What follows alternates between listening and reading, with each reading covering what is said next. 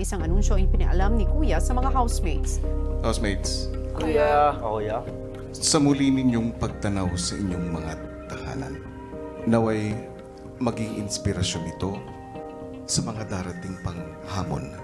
Dahil gusto kong ipaalam sa inyo na magsisimula na ang laban ng Pinoy Big Batchbakan para sa ikapitong trono. Pero kaakibat nito ay mayroong ding isa pang matinding gantimpala ang nakataya sa batch na magwawagi. Kung sinong batch ang mananalo sa mga hamon ng Pinoy Big Batch Bakan ay siya ding batch na magkakaroon ng pagkakataon na maglaban-laban para sa isang condominium unit.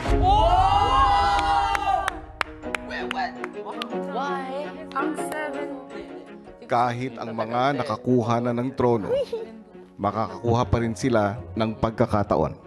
Suddenly,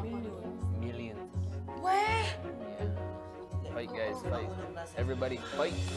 Siyempre po, nagbigay po ito ng lakas ng loob sa aming apat na mas lumaban. Kami-kami po yung maglalaban para sa kondominyo. Makakatulong nga po yun kasi yun po, hindi nga po ako sigurado kung saan na po ako uuwi pagkatapos po nitong PBB. Hindi ko po alam kung may babalikan pa, pa, pa ba ako, kuya. Kaya at least man lang, pag may condo unit, kuya, alam kong safe ako. Para sa akin, kuya, sobrang malaking tulong po ito, kuya. Kasi, o paglabas ko, wala akong tirahan po dito, kuya. Kaya, doon ako titira.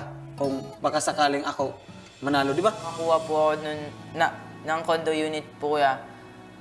May mapag-stay na po sa Manila po kuya. Tsaka gusto ko din pong makasama po yung, yung mga kapatid ko doon sa condo unit po kuya. Para, ayun po kuya, mas maging maganda po yung place na ipagsistayan po nila kuya.